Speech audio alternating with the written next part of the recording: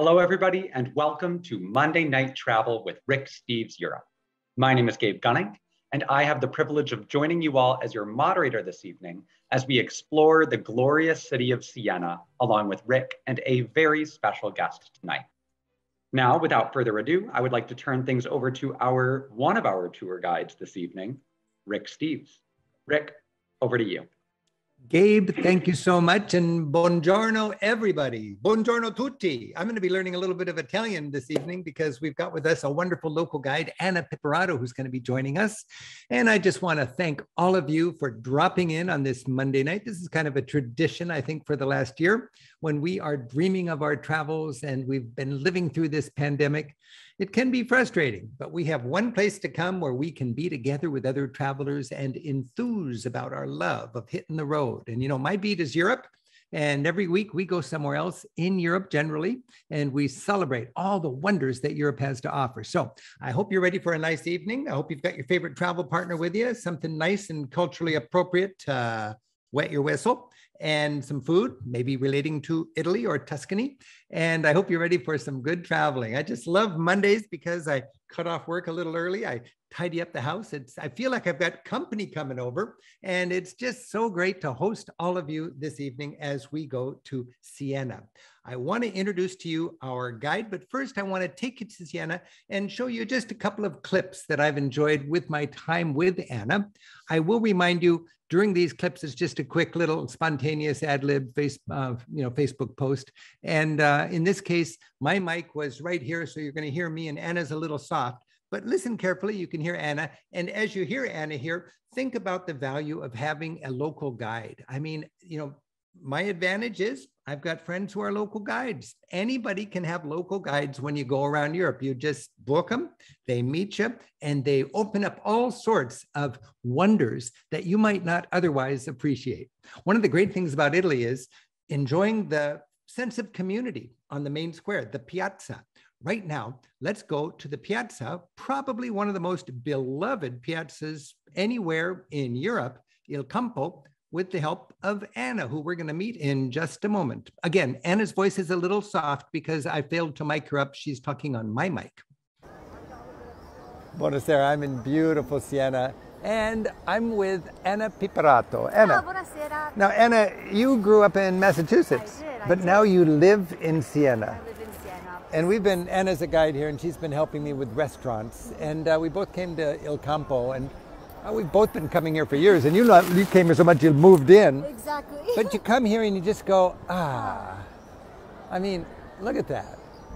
And when you look at Il Campo, and we look at that bell tower, what does it mean to a Sienese? What, what does it mean? this is home. I mean, the Sienese, you've heard of the term campanilismo, right? The bell tower syndrome, that your town, within the sound of the bells, is the most beautiful. And these bells are the most beautiful because this is the most beautiful town. And every Sienese feels that this is the symbol of their city. This is the center, this is the heart, this is home.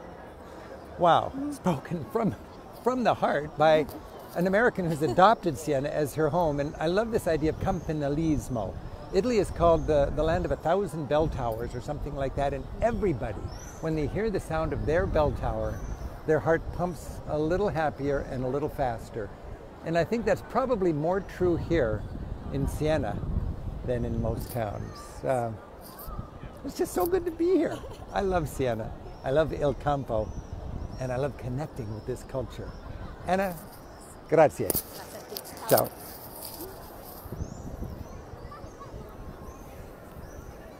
And I'm not the only one who loves Siena. If you've been to Siena, you love Siena. That just seems like that. In my office, we have a, a running joke. Whenever anybody mentions Siena, somebody kind of moans as if they're in great ecstasy. Oh, Siena, I love Siena. It's just almost a caricature of travel happiness, Siena. And we, when we look at that bell tower there, that campanile, campanile, it's like, an, I see it as an expression mark. It says, we are proud, we are independent, we are Siena. And there are statue, there are campaniles, there are bell towers all over Europe that are exclamation marks for the pride of that community. Now, go with me and Anna inside the city hall and we'll learn a little bit about the art that's in there.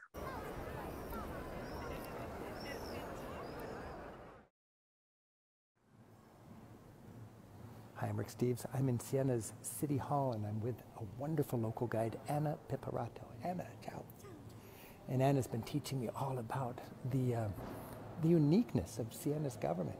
And Anna, when we look at this hall, really, what's the context of this hall? What happened here? Well, this was the meeting room for the General Council of Siena, and next door the government of the Nine met, and they were always reminded to rule justly and to be guided by wisdom. And if we look up here, what is Mary and Jesus? What are they holding in this in this mass? Is it called a maesta? What Mary a enthroned? Maesta, the Virgin and Child enthroned, and the Christ Child is holding a scroll that says, "Love justice, you who rule the earth." A constant reminder to the leaders of the city to rule with wisdom, as we said. And if Christ says it, you better listen. Love justice. You who rule the earth. Oh my God! There's so much that we can pay attention to yeah. in 2019, and this this is a message from the 1300s. Yes, 1315. What, 600, 700 years ago? I can do that. So these guys were figuring it out, yeah. and we can too. we're inspired by the story of Siena. Happy travels. Whoa, love justice, those who rule the earth. And there are some stories of American politicians from different parts of the political spectrum who have gone to this hallowed spot. Some have enjoyed it and some have not. Hey, I want to introduce right now my good friend Anna from Siena. Anna, thanks for joining us.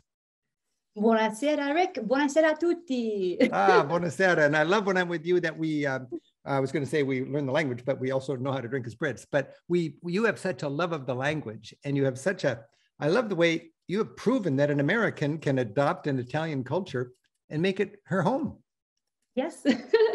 I, I moved here, I guess, about seven years ago, but Siena has been a part of my life for much longer than that.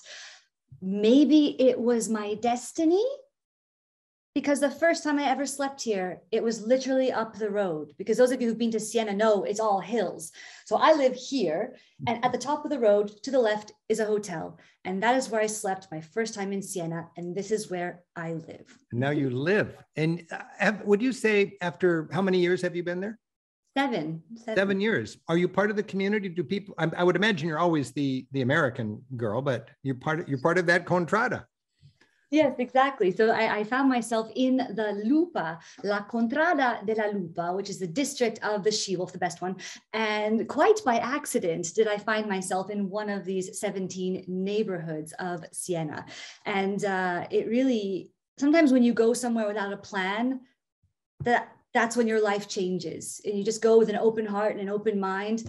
And maybe a few of these yeah. and, uh... and, and, and, some and some historical and cultural background. Didn't i, I understand you have a um, upper degree in saint catherine or something like that. What is your yeah. connection with saint catherine? Who is the i think the patron saint or the the hometown girl there She's definitely a hometown girl. Again, I, I never would have thought that I, I, wanted to do my thesis on 14th century saints in 14th and 15th century art. And I had a whole bunch of saints, and I ended up with one in the 16th century. And her name was St. Catherine. And she is surprisingly not the patron saint of Siena, but certainly a, a local girl. Um, but she is the patron saint of Italy and Europe and the first female doctor of the church. So she's kind of a big deal. And she's from, again, just up the road from four or 500 years ago. And uh, I, I just, anybody who's excited about the Middle Ages and anybody who's excited about the, the history and the history of the church and so on, I think it gives you a huge advantage in celebrating the local culture. And we're going to do a lot of that. But right now, let's talk a little bit about what we're eating and drinking because you just ah, held up a drink there. I and did. Let's do our drink first here because I'm a little thirsty. Tell us about an Aperol Spritz because this color reminds me of Italy in the piazza after a long day of work, everybody is there with their drink and the, the sun is shining through it. Even the light is shining through this right now and it just glows like a lantern of happiness. Lantern of happiness. I like that. First of all, cheers. Chin chin. Salute. Mm. Yeah, a bit of liquor courage is good.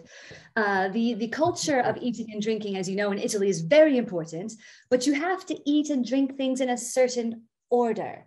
Okay. So you have to have your aperitivo before mm. dinner to get you ready to get rid of the day and get ready to eat. So this is perfect. This strokes your appetite and it's quite easy to make. You've got about 50% Aperol and 50% Prosecco and a splash of soda water and a, and a, a slice of uh, orange. It's that simple, isn't it?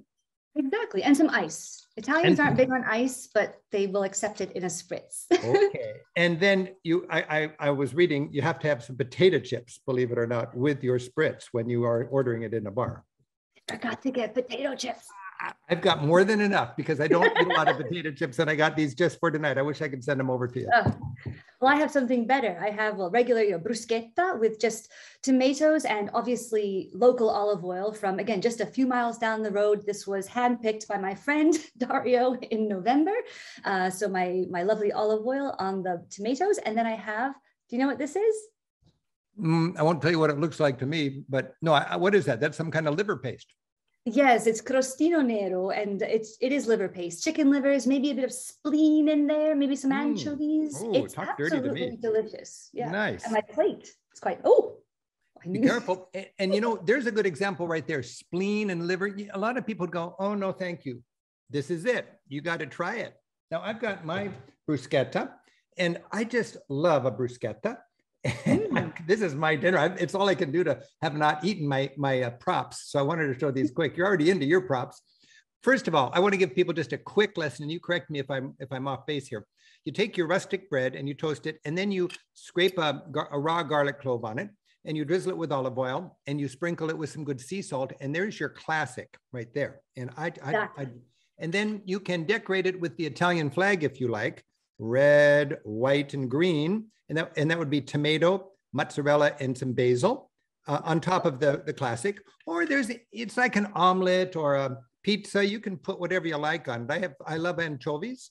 Acciughe. You got to try acciughe. when sono buonissime. so I just made this one up, but it's got my basic olive oil and, and garlic with some true cubed up tomatoes and then a, a nice, uh, lovely, limpid anchovy draped over my bruschetta. Bravissimo. I would say that Mm-hmm. looks very appetizing indeed. So that's my bruschetta. And I have complemented it with another Italian flag. And this is the insalata caprese. In English, the Capri Island salad, right?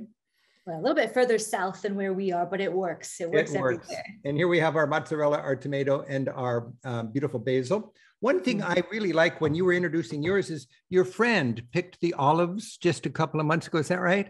I mean, how Yes. many how many people can say that? And it just adds a little cultural and personal terroir to the Mm. festival, doesn't it? So good. And So- that's why you have to have your plain bruschetta with just your bread, saltless bread, and the olive oil so you can Appreciate the olive oil. Yes.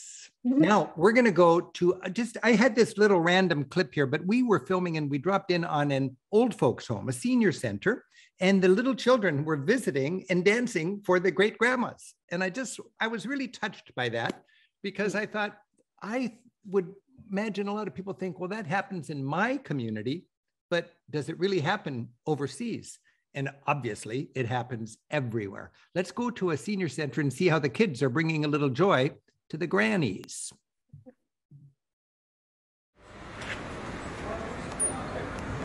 Hi, I'm Rick Steves, and I'm in Siena. And of course, we all go to Siena to see the tourist uh, attractions and the great art and just the wonderful dimension of Tuscany. But it's Easter time, and it's just a great reminder that all over the world there are old folks' homes where the kids are coming together to, to show a little love to the seniors. And uh, here in Italy, like just all over the United States, we've got an Easter celebration where people who are starting out their lives are bringing some joy to people who are just finishing their lives.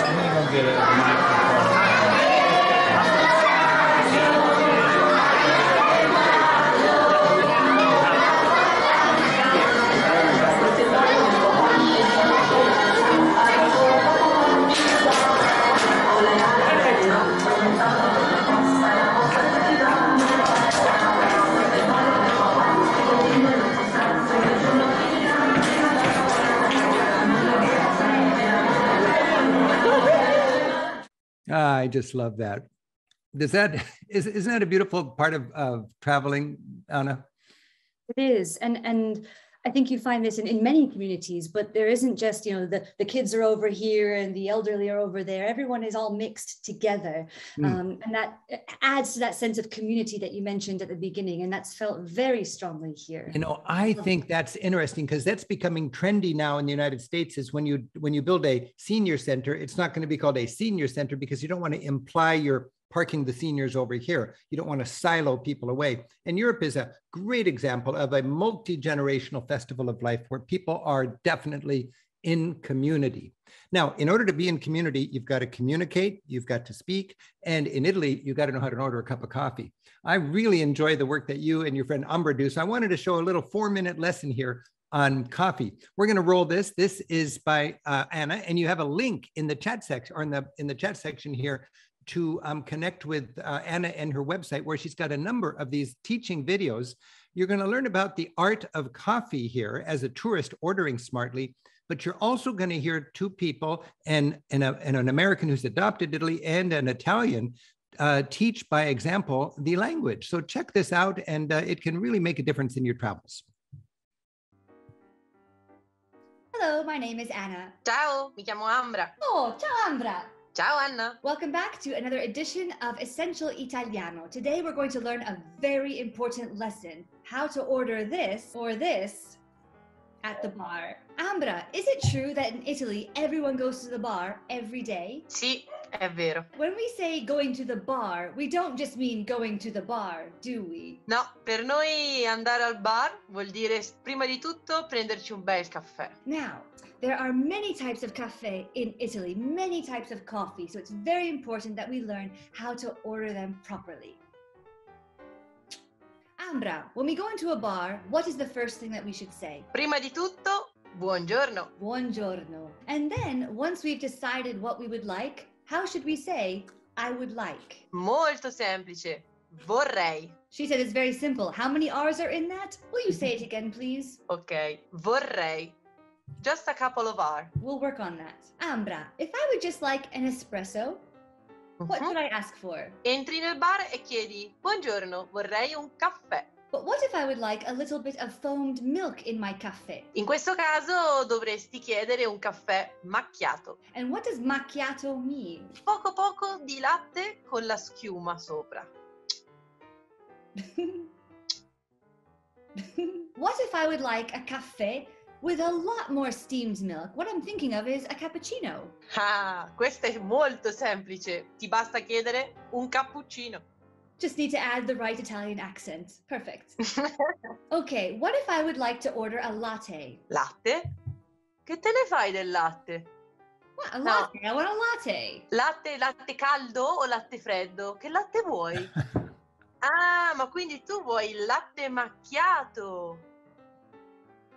Cioè, latte con un po' di caffè dentro. Allora è latte macchiato. Solo latte? No, no, non ha senso, non esiste. Finally, well, what if I don't want just a little dinky coffee? What if I want a proper cup of American coffee? How do I ask for that? Basta chiedere un caffè americano. Però ricordatevi che per noi il caffè americano è un caffè, un espresso, al quale viene aggiunta l'acqua calda. You know, Ambra, sometimes an espresso just isn't enough for me, but I don't want a full cafe Americano, as you just said. So what would I order instead? Puoi sempre chiedere per un caffè lungo, che è come un espresso, quindi concentrato, però un pochettino più lungo, ma non tanto come l'americano. Una via di mezzo. Right, now let's put what we've learned in action. I'm going to be the bartender and Ambra will be the client. Buongiorno. Buongiorno a lei.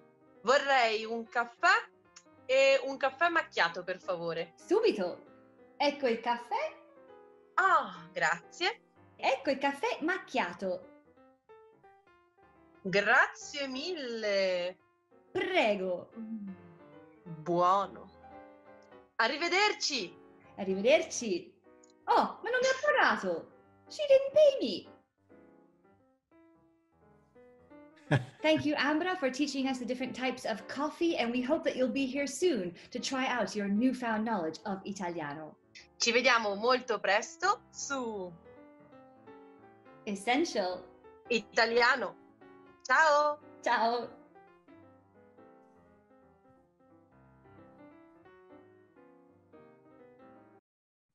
All right. So that was essential Italiano, and it's more than the language. It was the gestures, it was the sort of animation, and it was the cultural understanding of how do you order a coffee? We just say a coffee, but there's so many kinds when you go into a bar in Italy, isn't there? Exactly. And it's very important to get the right kind. And like anywhere you go, if you just make an attempt to speak the language, you really will ingratiate yourselves so much more with the locals. And of course, you get a better experience out of that as well. So And you could go around on your whole trip saying, I want some milk. And they would get around to giving you some coffee, but you might as well get on the ball and realize you don't ask for a latte. and uh, unless you really want one, I guess. But I guess you could, it's an option. But for me, I don't need to know all those things. I just need to know that these exist and what is my favorite. I like the cafe macchiato. So I feel quite smart when I go to a bar and I ask for a cafe macchiato. Perfetto. I was- How do you say I would like, Rick? Do you remember? Vorrei. Oh, and he's got the R's. Bravissimo. Vorrei un cafe macchiato, por favore. Subito, signore. Subito. Mille grazie. Ciao. Prego. Oh, he didn't pay me either. Ah, that's hey. Um, I just when I, when I was watching that, it, it occurred to me these are the lessons that you and all of our guides give on a Rick Steves bus tour.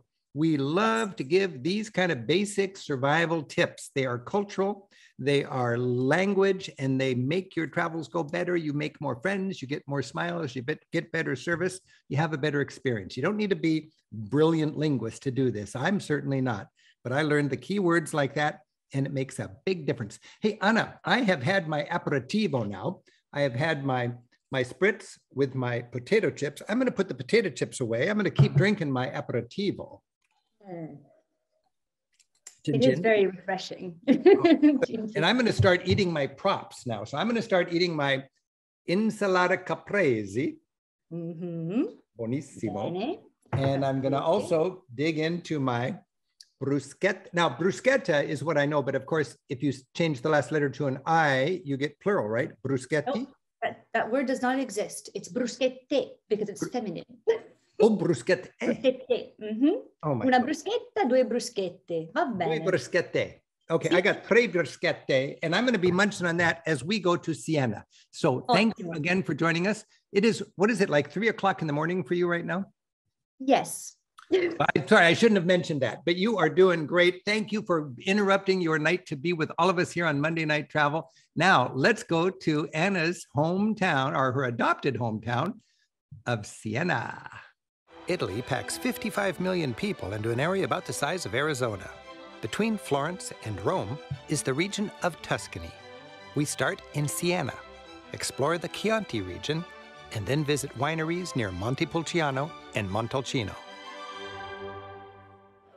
Back in the 1300s, Siena was a major banking, trading, and military power. It was in a league with Venice, Florence, and Genoa. It had a population of about 50,000 people. That was one of the biggest cities in Europe, about as big as Paris. But after being weakened by a devastating plague and conquered by its bitter rival Florence, it's been a backwater ever since. Siena's loss became our sightseeing gain as its political and economic stagnation preserved its purely Gothic identity. Its population hasn't changed for centuries. It's still around 50,000. And I do want to remind you that Siena has a very strong and um, sort of edgy, I mean, just aggressive rivalry with Florence, and it goes back centuries.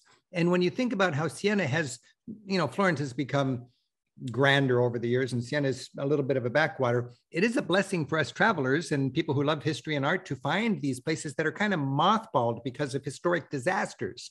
I was thinking of the places that are remarkably preserved in Europe for bad news centuries ago.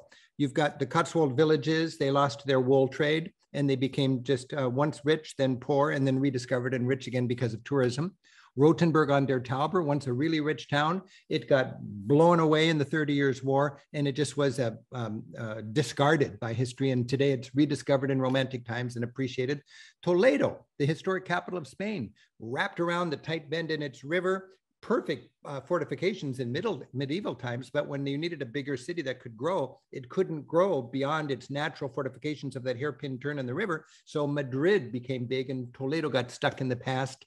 I think the hill towns all over Italy were put on hilltops for defensive purposes, but that kind of kept them away from prosperity later on when you normally needed that, when you formerly needed that, um, that hilltop location. And we just talked about Siena. So there's plenty of ways that uh, we can be kind of take advantage of uh, historical misfortune to enjoy towns that are amazingly well preserved. Uh, Anna, I mentioned the rivalry with Florence. Um, it's amazing how that survives to this day. You feel it on the on the soccer field. Uh, you feel it when tourists go to different towns. Tell us about that.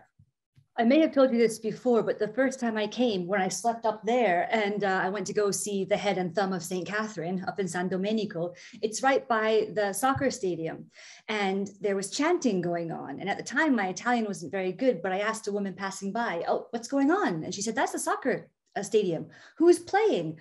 Siena is playing Florence because we were in the top series for about five minutes. And I said, What are they chanting? And she said, Hmm. The Sienese are chanting to the Florentines, Ricordate Montaperti. Remember the Battle of Montaperti that we won against you, Stinky Florence, in the year 1260. 1260. did not respond. 1260. 800 years ago. Get over it. Siena, get over no, it. No, never. No, you still feel it. You still feel it. Siena's great central piazza is Il Campo, like a people friendly stage set, it's the heart of Siena, both geographically and metaphorically. The historic junction of Siena's various neighborhoods, or contrada, it fans out from City Hall as if to create an amphitheater. The square and its buildings are the color of the soil here, a color known to artists and Crayola users as burnt sienna.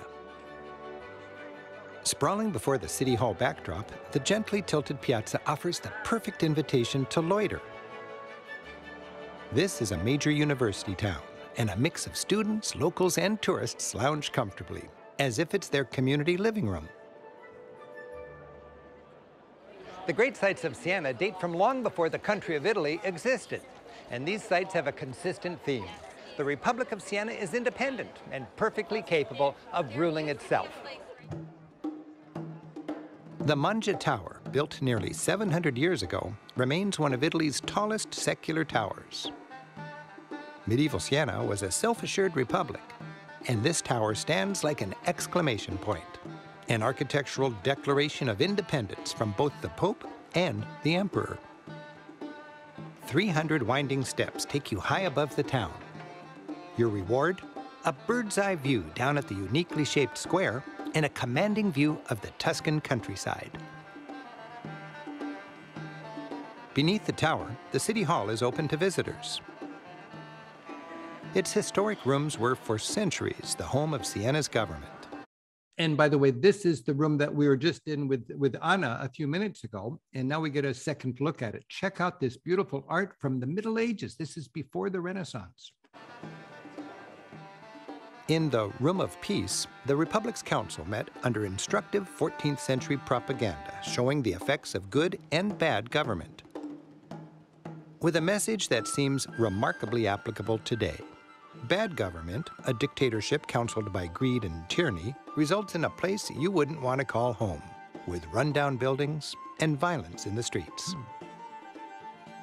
But good government, with wise and virtuous leadership, results in a utopian republic where the shopping's brisk, construction's booming, students are attentive, and women dance freely in the streets. The message? A community ruled by a just government enjoys peace, prosperity, and is a great place to raise your kids. For a portrayal of that good government in action, drop by the historic hospital of Santa Maria della Scala. So I just got to say, it's so fun to let art be a time tunnel experience for you. Here we are in Siena looking at art to find out how people lived 600 years ago. A series of idealized frescoes shows medieval Siena's innovative healthcare and progressive social welfare system at work. The city, rather than the church, ran this hospital, illustrating how far secular society had come in Siena by the 1400s. It took in and raised orphans, from wet nurse, through schooling, to a civil wedding. And this wedding is not arranged, it's based on love. Sienese society cared for its poor. Bread was given to the needy. Note the loaves are cleverly stamped to prevent resale. The hospital was run by secular doctors and nurses. In a slap to church authorities, this well fed monk looks bored as he seems to ignore a dying patient's confession. Siena is a stony wonderland where people, rather than cars, fill the streets. It's that time in the early evening when friends gather and stroll. Like in any Italian city, the people of Siena are out and making the scene. This ritual is called the passeggiata. It's like cruising without cars. In fact, throughout the Mediterranean region, early evening is the time to be out and about.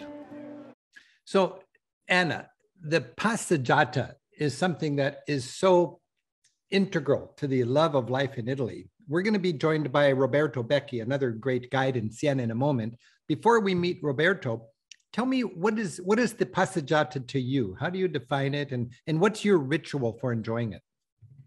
Well, the passeggiata is when you go out to to see people and to be seen. And sometimes you do kind of laps, you know, as you do in the swimming pool. You go up and down and up and down until you see or you are seen by who you want to be seen by. And it's just a nice way to kind of, again, get rid of the day, get ready to go for your aperitivo, meet up with friends, um, and get some exercise. And that is something that we do every night. If you're in a hurry, you have to go off the main drag, which is what we're on right now in this yeah. video on the Corso. If you need to be somewhere in a hurry, then you go on the side streets. But usually everyone goes on the main street.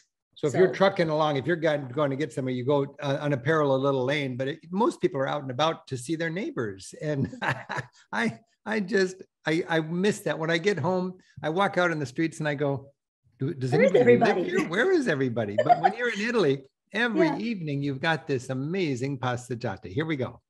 The passeggiata is ideal for getting together with friends, and I'm joined by my friend and fellow tour guide, Roberto Becchi. With Roberto, my passeggiata includes a little history. I just feel there's so much history all around. Yes, especially on this road here. What happened on this road? This road in the Middle Ages was called Via Francigena. The way where, of the French? Yes, it's where all the pilgrims were passing through, from France to Rome. This is the pilgrims route? Yes. For centuries. And people are walking to this very day. But yeah, now, but they do passeggiata. Passeggiata today. Oh, I love the passeggiata. All the talents love the passeggiata. Everybody's out, every generation. Every huh? generation going up and down on the main road, shopping, looking at the last fashion. What are the fashions? Who's got a new baby? Absolutely. Italy is a culture of piazzas. Ever since Roman times, the piazza has been the heartbeat of the community. And in Siena, Il Campo is perfect for a nice aperitivo. We've grabbed a front row table to enjoy a spritz. That's a favorite drink, mixing Aperol, white wine, and fizzy water. I love the aperitivo. Aperitivo is Italian for happy hour, basically. Get a cocktail, and you know, it's not a cheap cocktail, but it comes with lots of nice munchies and the best view in town. Yes, in the main square of Siena. Oh, oh, I absolutely love it. Anna, can you relate? Can you, can you, well, that's right down the street from you. could go there tomorrow morning. Ah. No, up the street. Up, up the street. that's right. It's a hill town and it's not on the crest of the hill. Exactly. Now, the Campo is, it's actually the convergence of the three uh, hills of Siena, because Campo means field. And it used to be a field. We're not very creative here sometimes, but it is the social heart of the city. It's the political heart of the city. And like the Romans had their special areas for games, we too use that space for games. So now I think it's important when you're going to sit for half an hour after a busy day of sightseeing, go to the best square. I mean, it might cost you $2 more for your, your spritz. I don't think it will. It's just, it's about the same price everywhere. It's like four or five euros. You got yourself yeah. a nice drink and if you'll notice what Roberto and I were doing, we're sitting in the best square in town. We've got the apparat, you get the little munchies. And this can be a buffet these days because they're very competitive. They want to get some business in before dinner. And you buy your spritz, and that includes access to the buffet. Exactly. Sometimes we choose our aperitivo based on how much we want to eat because sometimes, you know, you might not want a big meal. So you go to the place that serves the best spread Yeah. or where your friend is working so that he or she will give you extra prosciutto. Uh, Oh, that's some advantage I wouldn't have. Now, this aperitivo tradition, some people Mm. nickname apericena, meaning the uh, cutting ap- aperitivo back with the uh, with the dinner, which is the word is cena. Not very stylish to do that, but if you just want a couple of little open faced sandwiches, you could call it dinner. It started in Milano in the north, didn't it? Yes, it's a northern thing. And I, I lived for I lived in Turin my first time I lived in Italy all those years ago. And in hmm. Torino, I mean, they would have mini like mini appetizers and mini primi and mini secondi and mini dolci. So you had you did have your whole ah. apericena. It was fantastic for someone on a budget as I was at the time. Love it. Hey, Anna, thank you so much for joining us. And I want to just take a moment to thank our team at Monday Night Travel. Gabe is working with us right now as the moderator. Uh, Juliana is behind the scenes answering your questions and so on. And we've also got Lisa with us. And Ben, our friend Ben, is in Russia right now studying. But we could not do Monday Night Travel every Monday without our wonderful team. I do want to remind you, you can see all sorts of our TV shows without these pauses and discussion anytime you want. If you go to ricksteves.com, go into the TV section, just click. You got a whole half hour on Siena. You got a whole another half hour on Tuscany. I also want to remind you that we will be going to Q&A after the video, and that's coming up in just a few minutes. So if you have any questions, put it into the q&a and then gabe will field that and we'll get some uh, information as you like out of uh, anna. And remember there are links in the chat section. The most important link is the link to anna's website and she does a lot of these videos that she's made with her sidekick Ambra. And anna is working with us on our tours and she does her own city tours and local tours. Anna when you are doing tours on a rick steves tour what what uh, itineraries do you do So generally, I do the uh, Heart of Italy in nine days, uh, Venice, Florence, Rome in 10 days, and the Village Italy in 14 days, which makes a stop in Siena for the afternoon. That must be fun. for you. Um, that uh, kind of an, a little bonus for people on your bus that get to go to Siena on Yes. the Village Italy tour. I took my family on the Village Italy tour because I wanted to go to places that were not the big famous sites. And it was Yeah. so intimate. It was so into the artisans and the love of the land and the heritage and the cuisine. And that's our Village Italy tour. I think our most action packed tour of all 40 tours that we offer all over Europe is Venice, Florence, Rome. I mean, imagine those three great cities, about three days in each city in 10 days.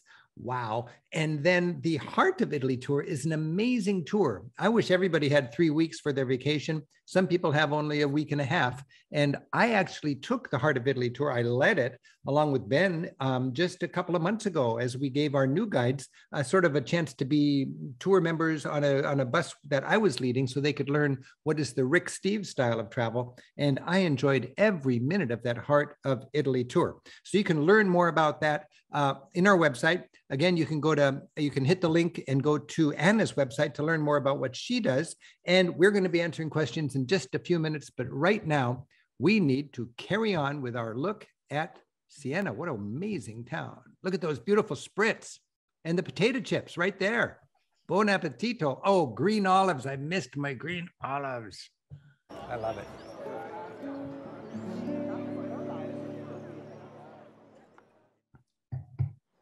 Siena's 13th century Gothic cathedral, with its striped tower, is dedicated to the Virgin Mary and covered with art.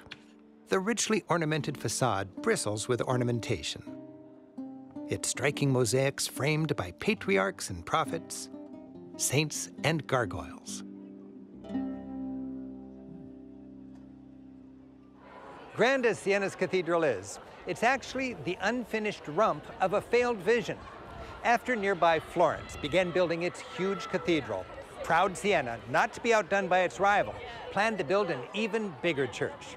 So here's this Siena Florence thing that Anna and I were talking about. And as a TV producer and a script writer, it was really a challenge to film this, to block it out, to write the script so that people could get their brains around this big cathedral that was designed to be three times as big, teetering on the top of the hill, which is Siena. So see if you can follow this. I did my best to explain it. In fact, the biggest church in all of Christendom.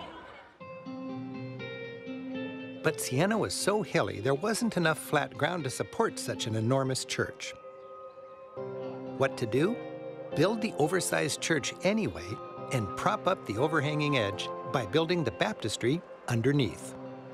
The cathedral we see today was intended only to be a transept or wing off the envisioned nave or main part of the church.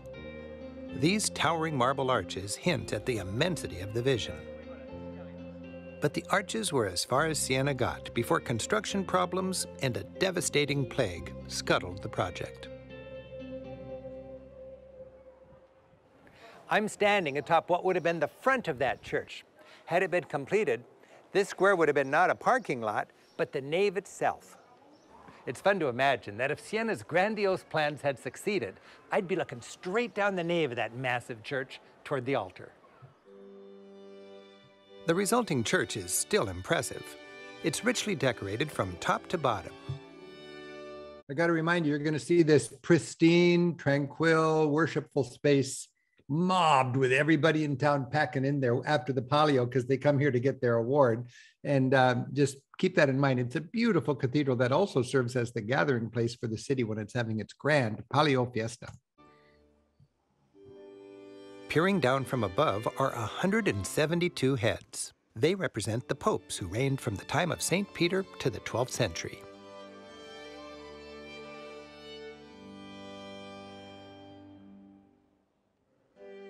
The exquisite marble floor is paved with Bible scenes, intricate patterns, and allegories. This one represents Siena as a she-wolf at the center of the Italian universe, orbited by such lesser lights as Rome, Florence, and Pisa. The greatest artists of the day helped decorate Siena's cathedral. In this side chapel, St. John the Baptist, carved by Donatello, wears his iconic rags. And high above, playful cherubs dangle their feet. This memorial to the Sienese Pope Pius II features a statue of St. Paul carved by Michelangelo himself.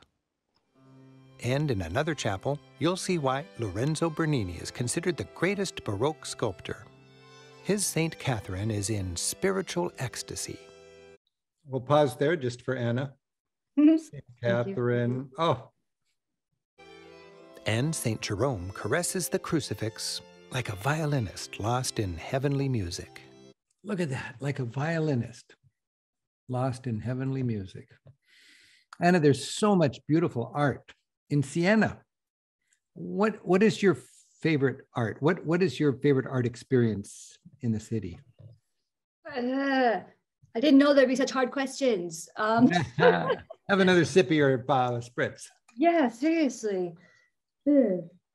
Well, I guess with anything, it all, it kind of depends on your mood and where you are, and even how many people are there, you know, with you experiencing that, or if you're on your own.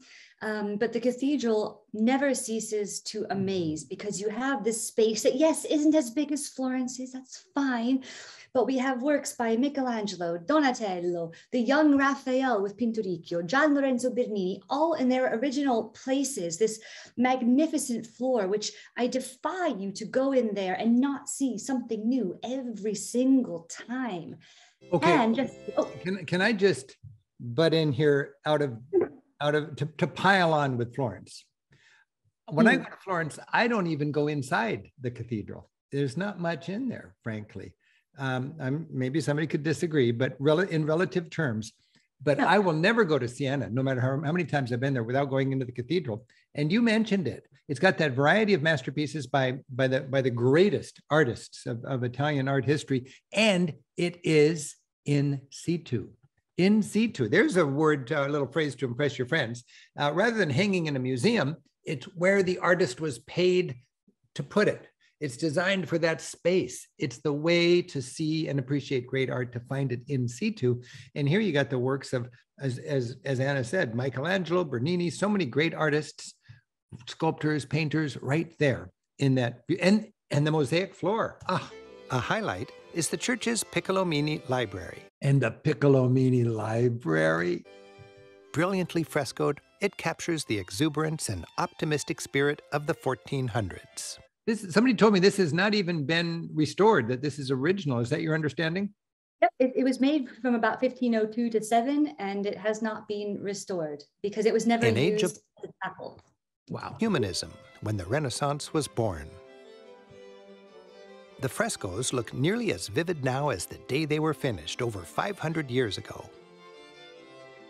They celebrate the life of one of Siena's hometown boys who became Pope Pius II.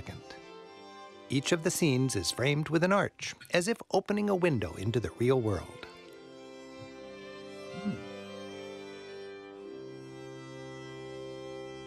Mm. Bravo. The back streets of Siena have changed little since the days of the Renaissance. Make a point to get away from the crowds and enjoy a quiet moment with the timeless magic of Siena. All over town, shops tempt you with edible Sienese specialties.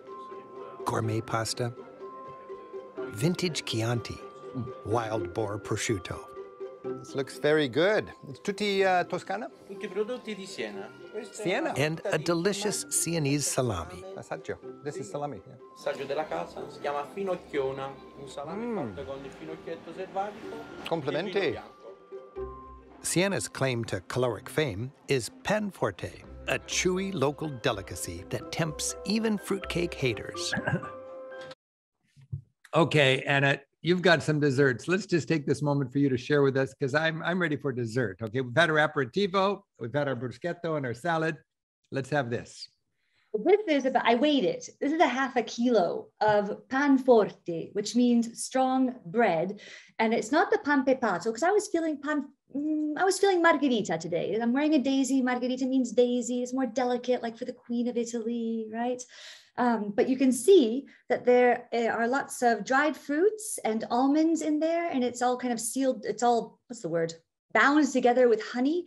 And this is something that's been made in Siena for over 800 years, given to travelers on their way to Rome along that Via Francigena that you and Roberto were talking about earlier. You know, when I was a kid, I dreaded holiday time because I my grandma had this fruitcake and I had to eat it, and it was just horrible. Oh, but I love the pan forte. That's Oh, if you've yeah. not liked fruitcake, check out the pan forte. It's got that nice little dusting of powdered sugar. I just spilled all over my desk, but yeah. and also these, do you know what these are? uh, ricciarelli or something like that. Esatto, made with, these are good for gluten-free people too, because they are made with almond flour. And again, these have been made since at least the 13th century. So take a part in local tradition. Will you take a little bite of that ricciarelli? I just want to imagine how it tastes. Mm.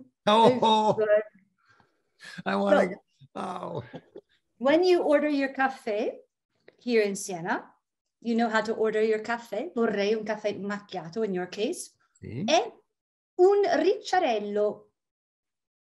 Certo. Perfecto. Okay. Well, let's go back to our trip through Siena. Tasty Siena. Mm-mm-mm. Siena offers a delicious range of opportunities to enjoy the hearty Tuscan cuisine. Characteristic tavernas serve local dishes in a grotto chic atmosphere. This one under a fine old medieval vault. I got to say, one of my favorite things to do in all of Europe is work on this book. And when I'm in Siena, to partner with Anna or Roberto or one of my other friends who are guides, and we just list all the restaurants in a row and we just blitz that place, drop into every one of them, check them out, and make sure our listings are really good. It's so much fun, especially in Italy, to find these restaurants. I love bruschetta, and my favorite is without toppings, just the olive oil and garlic. I like it. It's simple because you can taste the oil. The olive oil. You can use your hands here. You can use your hands. Yes, absolutely. That's nice. like this.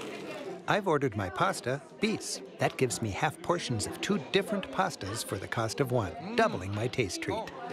Looks like some nice white truffles there. Yeah. That's light and nice with the truffle. I like Yes, that. absolutely. It's a good mm-hmm. match. Wow. Tell me the story. And we cap our meal by descending into their ancient Etruscan wine cellar. Dating from 300 BC and roughly hewn by hand, this former tomb now houses the taverna's fine wine and cheese. Year round, it's the perfect temperature for wine and the perfect humidity for cheese. And as a travel writer, I feel it's my solemn duty to confirm this. It's nice. I bet the Etruscans liked this. Oh, definitely. Look at that scene, that exquisite cheese. I'm, I'm holding, I'm sure I'm holding a beautiful glass of wine there. And it's, and I'm in an Etruscan cellar. oh, Okay, now Anna, we are going to. It's going to be palio now for a little bit, and and I, I think before we get there, we'll talk more with you about the palio. But we should properly uh, attire ourselves, wouldn't you say? think so. I think so.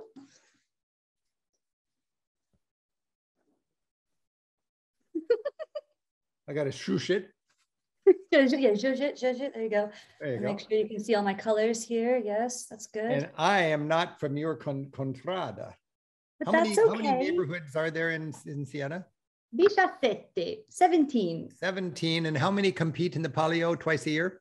Just 10 for safety reasons. Ah, so there's some kind of a drawing where they decide which 10 compete, and then everybody's sporting their. And can you, at a glance, do you know what, at a glance, do you know what neighborhood this is from? Absolutely, drago. È facile. Is dragon? Is that what that means? Yes, drago, So- dragon.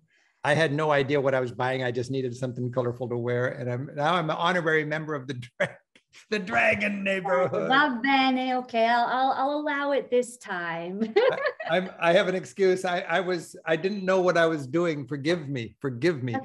no, we like dragon. Dragon is where San Domenico is. So Catherine's head and thumb are in dragon territory, but she Oh, is from you- the goose. But I am from the lupa. And what does lupa mean?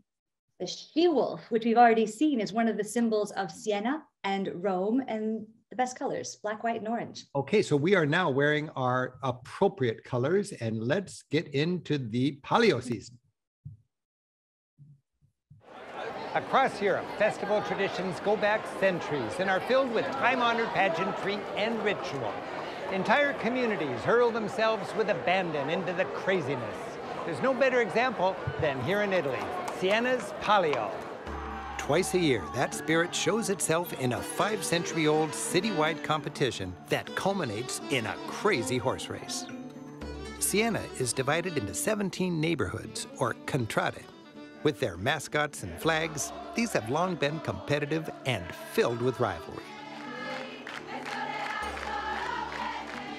Each July and each August, the entire city readies itself for the big race. Its centerpiece, Il Campo, is transformed into a medieval racetrack as tons of clay are packed atop the cobbles and bleachers are set up. Before the race, competing neighborhoods gather for communal dinners that last well into the night. There are rousing choruses with everybody cheering their contrada.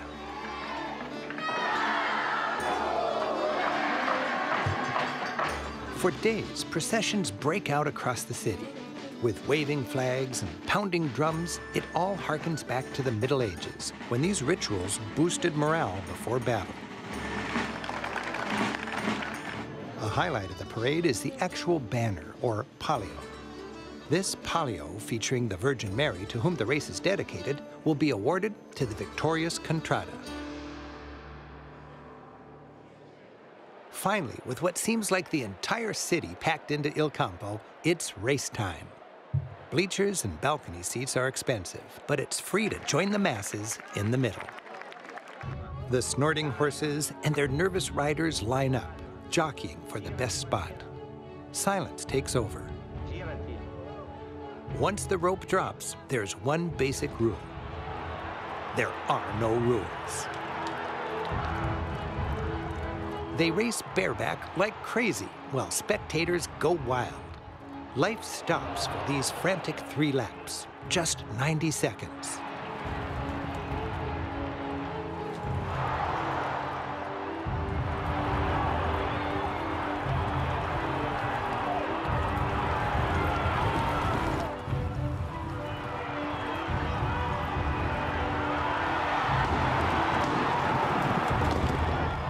Winner crosses the line, the winning contrada goes berserk. Tears of joy flow, people embrace. The winners thunder through the streets and eventually into the cathedral, filled with jubilation. Then the winners raise their coveted palio high, champions, until the next race. Oh boy. Hey, well, we've been having so much fun talking that we're running a little late, but I've got to show you these little clips here. So um, I'm going to just go right through them. And they're just five or six minutes of clips from the palio. And then we'll talk more with Anna about what each of them meant. Here we go. Due game. No. Hi, I'm Rick Steves, and I'm in Siena, about one mile outside of town, at a beautiful bed and breakfast called Francis Lodge. And the great thing about Siena is this culture is alive and well. It's the home of the Palio, and Francis is going to demonstrate the historic flags and how this was a language for the military. Exactly. So they move the, the flag just like in Egypt eh, to show to the army to move. When they like to stop the army, they round the flag around the body. For the attack, they round the flag over the head this way. And this is for the attack. Bravo! Bravo! And what contrada are you with? This is my is the tower with the elephant. And what is the name the- of that? Tower. The Tower Contrada. The only contrada who has two rivals. Yeah. One by Boda, no recognize. the other is uh, the historical enemy. We don't know the date. What is the best contrada? This one. The tower. okay. Ciao, grazie. And Francis runs a great little B&B, a fancy B&B outside of town, just a short ride out of town called Francis Lodge, one that's been in my book for, I think, 20 years now. Hi,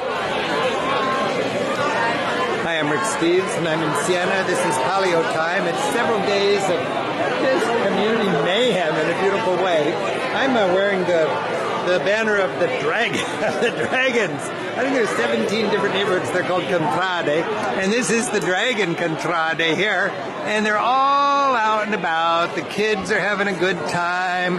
It's the community coming together. And I was just thinking, you know, in the United States we have a lot of great festivals, but um, what I really like about Europe's festivals, and correct me if I'm wrong, uh, they have more comfortable, multi-generational. The kids, the adults, the grannies, the young singles, plenty of alcohol. You know, you got your beer and you got your wine right in front of the kids. And uh, this is a community coming together. And this goes way, way back centuries. And right now, we are just really, really immersed in a wonderful example of community in Europe. And, and we're in Siena, about two hours north of Rome. And when we look out and see this magnificent city and the beautiful moon, I think we know this is a delightful place to travel. Happy Palio from Siena. And the big horse race is the day after tomorrow. So this is out my window from my hotel, and they're setting up for the big dinner for this neighborhood, and it's all nicely prepared. And then when they have their big bash, whoa, right outside the window in my hotel. And then the next day, it's gone. And they do this twice a year.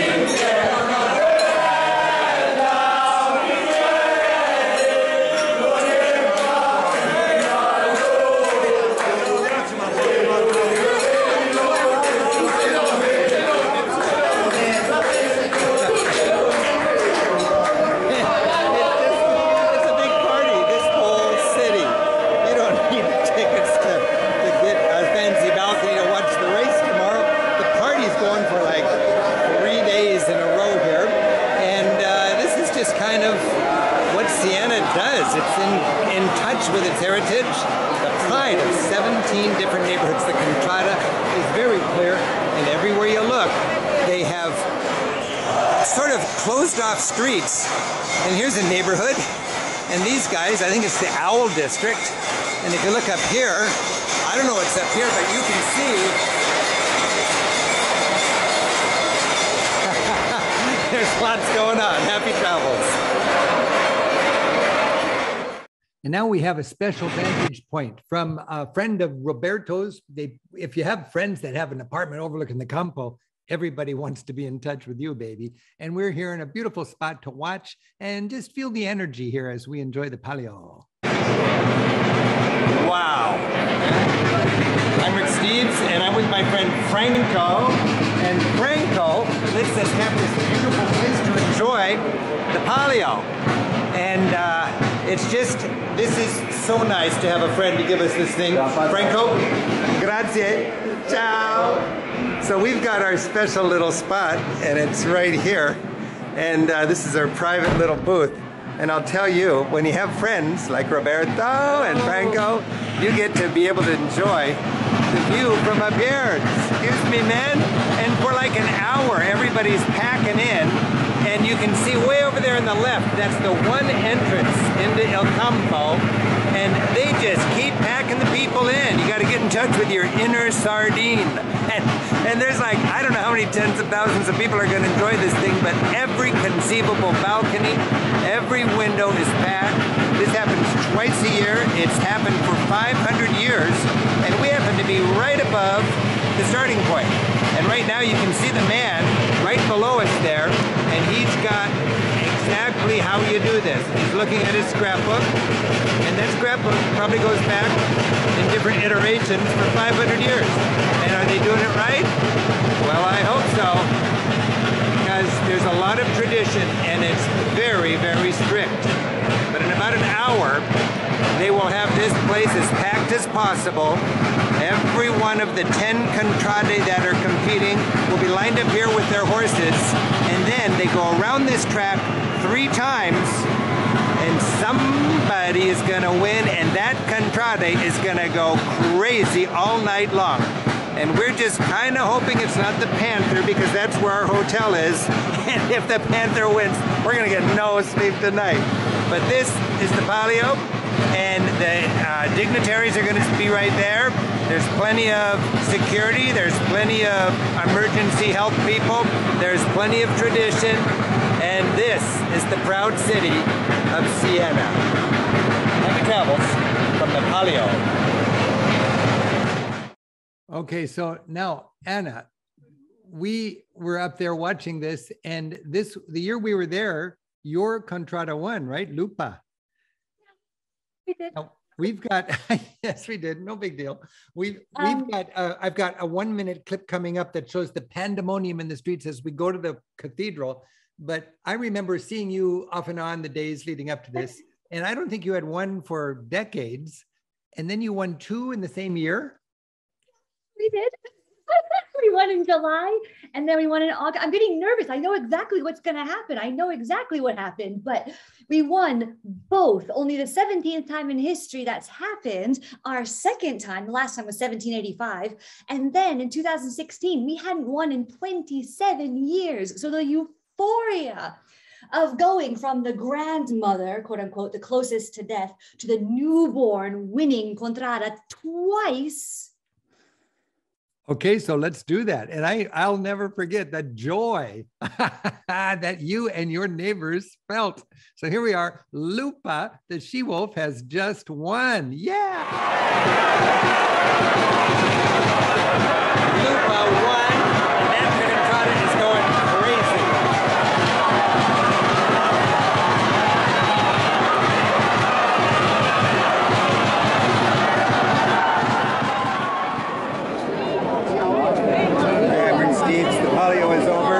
So I'm just being a human shield for my cameraman. So I'm standing there bracing him, and everybody has to go around me so he can get a shot. I didn't win. Lupa did. I'm blocking Simon. It's a human river. I'm multitasking. I'm doing a Facebook video and I'm blocking for Simon. Simon's getting.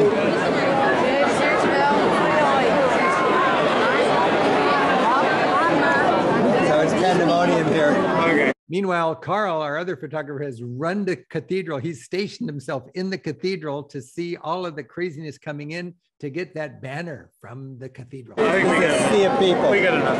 All right, we're going to head up to the cathedral right now.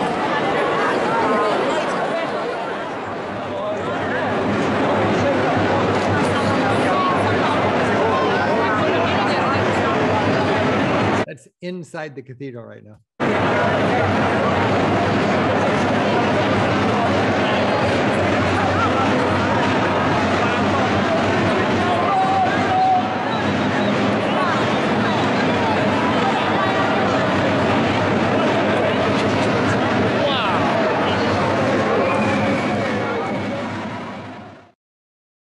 And that's the jockey. that one for Lupa. and, and and Anna is patting her heart. Oh my heart. Hey, um, I can hardly wait to get to questions. We've got some questions, and let's go to Gabe. And, and Gabe, it's time for questions. Um, we have more questions than I could ever ask the two of you. But before we embark on a few of them, can we have a word from our sponsor, Rick? Oh, yes. Thank you. Very quickly, I do want to remind you this event every Monday is brought to you by Rick Steves Europe. It's a gang of 100 happy travelers, me and Gabe and Julianne and 97 others. Plus, we've got 100 local guides, wonderful guides like Anna scattered all over Europe. And we are excited to welcome you back to travel. I've got my plane ticket. I just bought it last week. I'm heading off to Europe on March 18. I can hardly wait. We've got tours going next month, and it's looking like we're going to be able to do this. It's kind of exciting. It's exhilarating. None of us have a crystal ball, but we're hoping and praying that we can get back into the saddle. Uh, I do want to remind you if you want any more information, go to ricksteves.com. And when you go to ricksteves.com, you can click on our tours and then you can go to whatever tour you'd like. I like to click on the seats available uh, because it tells you what tours still have seats available. We've got 30,000 seats to sell. I think we're at about 27,000 seats. I got to say, it's, it's not for everybody to be traveling this year, but we feel it's going to be safe. We're not going to do anything that is uh, risking people's health. I think we're going to go with the normal sort of protocols in every country, but there's thousands of people enjoying Europe. And here's, I'll just click here on Venice, Florence, Rome. That's one of the tours that Anna leads. And if we look at Venice, Florence, and Rome, we can see about the tour, look at dates and prices. And here you can see uh, there's a lot of different departures. Uh, most of the later dates are full with a wait list. Look at that, my goodness. But the earlier dates still have, they're filling fast or they're wide open. Uh, so there's a lot of seats open on certain tours. And you can certainly check that out if you want to see what's going on with our tour program. Also, I want to remind you, we are having so much fun with Monday Night Travel. I'm so thankful for friends and fellow tour guides like Anna. And here, if you go to the homepage at ricksteves.com, tonight we're with Anna. Next week, we're celebrating Cameron's new book, The Temporary European. Cameron's amazing.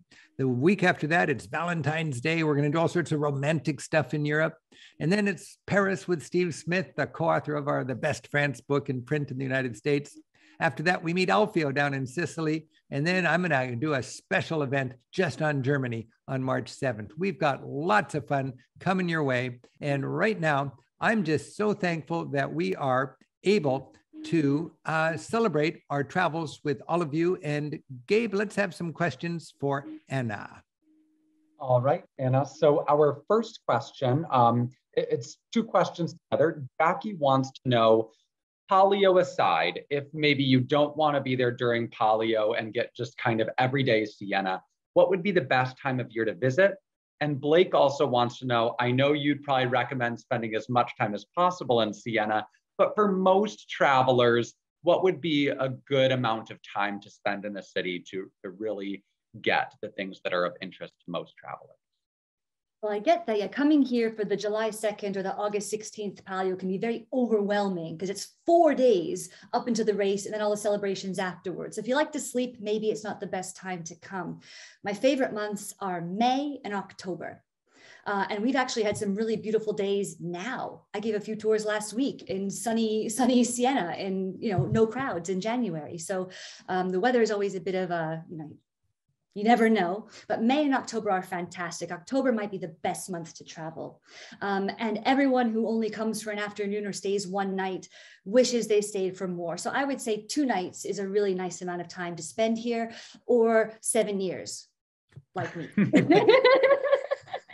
So somewhere in between, perhaps, but definitely tr- go for two nights because Siena, like Rick said, you know, there's the cars are not everywhere. You get to maybe even just having your same coffee at the same bar three or four times mm-hmm. gives you that community feel. And you can still visit a Contrada museum and learn about the Palio without all of the the craziness that you just saw. And I got to say, from a guidebook point of view, there's plenty of good and affordable hotels in Siena, and it's so easy to get there from Florence. Everybody, so many people go as a day trip from Florence. It's doable if you don't want to spend the night there, but you're just going to be in the most crowded time. And if you can wake up early and have it to yourself, if you can be there after dinner, that's the magical time. Agreed. Now, Elizabeth wants to know if you do want to be part of the madness and go during Palio, do you have any words of advice for people that might want to undertake that? Yes. So first of all, find out who is running. So seven run by right, three will be drawn at the end of May. And then if you want to wear one of these, you can, but do not wear one if that contrada is not running because you're just targeting like, oh, tourists and now i find myself doing that.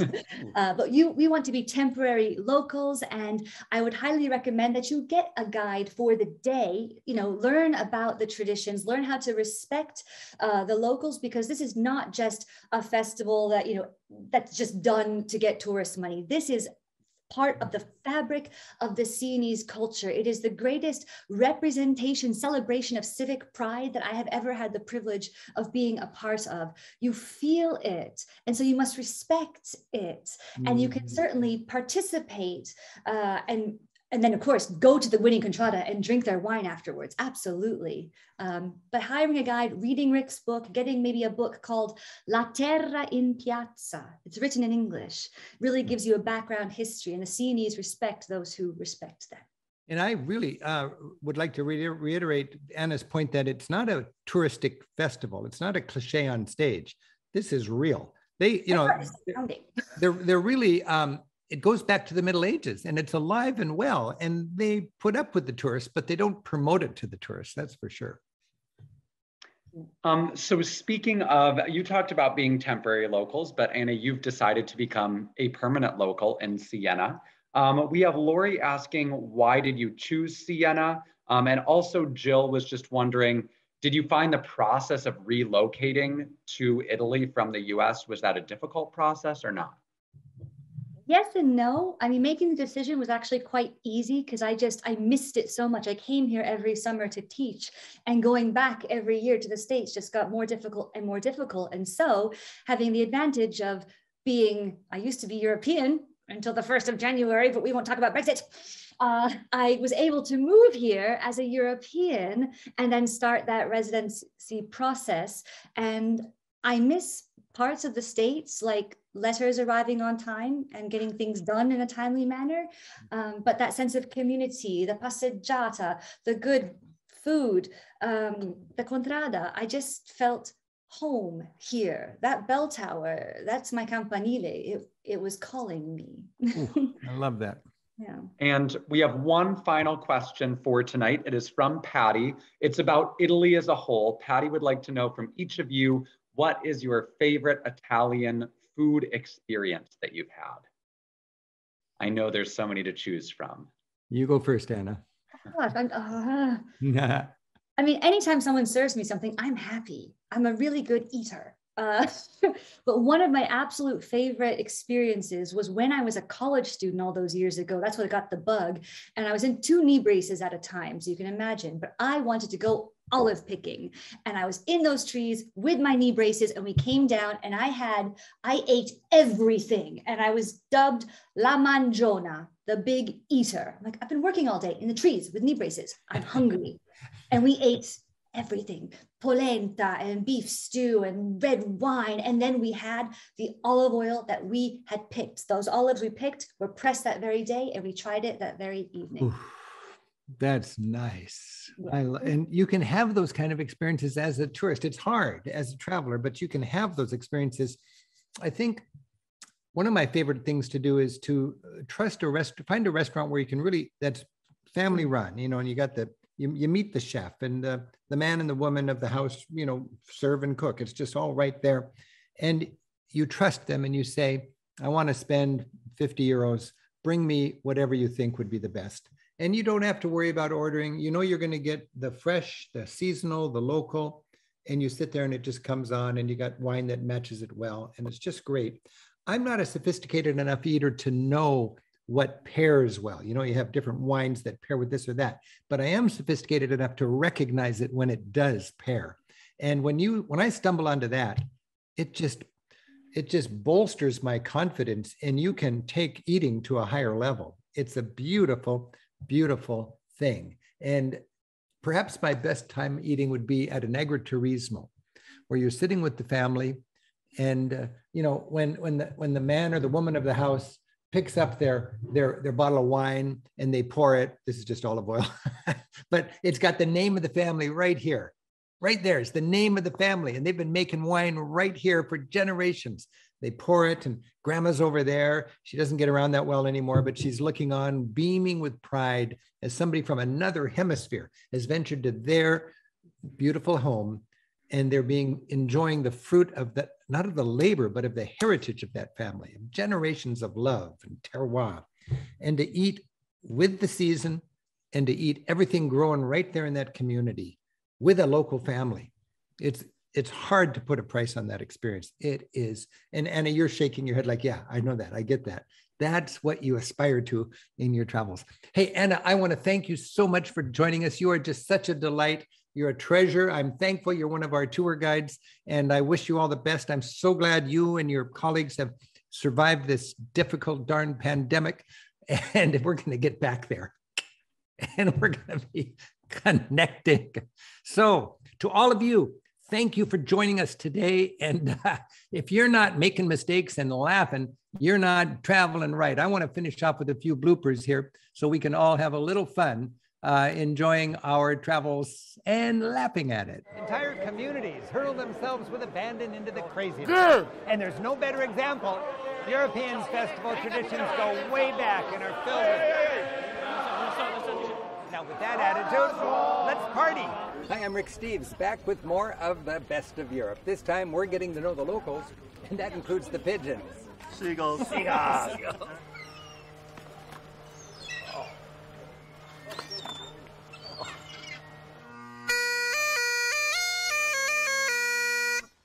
This is Glasgow and Scottish Passions. Thanks for joining us. All right, one more. Rob Roy's sporran. Yeah, for sure. Yeah.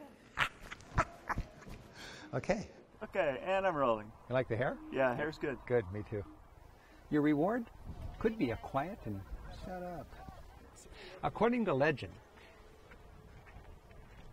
It's okay, there's a fairy right on your head, so no problem there.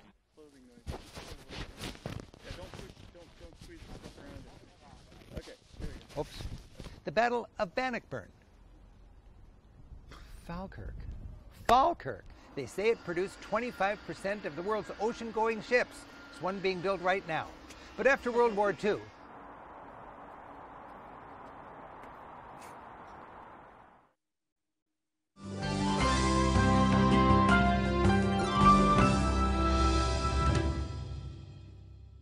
Buonanotte, Anna.